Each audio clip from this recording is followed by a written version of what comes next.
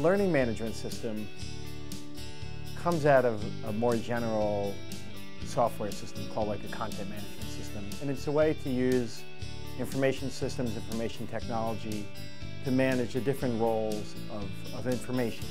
So a typical learning management system would have both content and people, users, who play different roles. And then the content would be things like assignments, instructional materials, maybe video, maybe short quizzes.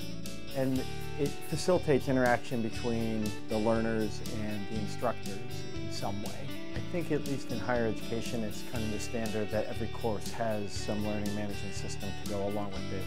That might be simply a place where students can download the syllabus or upload files for the instructor to look at, or uh, it might be more involved with some kind of hybrid classes where they meet in person, but they also have online discussions or some other type of online portion of their work. Not every class traditionally is structured the same way, and not every online learning experience then needs to be structured the same way. Uh, the same way that we might have lectures and labs and writing workshops and studio courses when we take this online, we want to be able to have a diversity of learning experiences. We also need to think about like what new, completely new experiences we could have online. We're not just porting like a physical experience and try to replicate it in an online space. The information that's on there doesn't die at the end of the class. And this will be a resource for the students in the course next semester and the semester after that and once they graduate and when they post something there they can go back to check out the code example that they illustrated or the resources that are on there.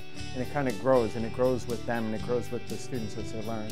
So it's not it doesn't just end at the end of the class. It kind of helps to, to spread out the classroom learning beyond that into other areas of their life and as, as they extend outside of the university as well I'm excited about the new Moodle. I think the interface upgrades are significant and will make it easier.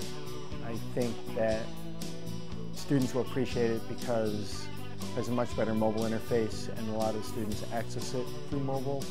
And that'll help, especially with the hybrid and fully online courses where you want students to check in several times a day with the course website instead of just once a week or twice a week. So if they can do it quickly from their phone or from another mobile device, that'll just uh, support that type of learning that much more.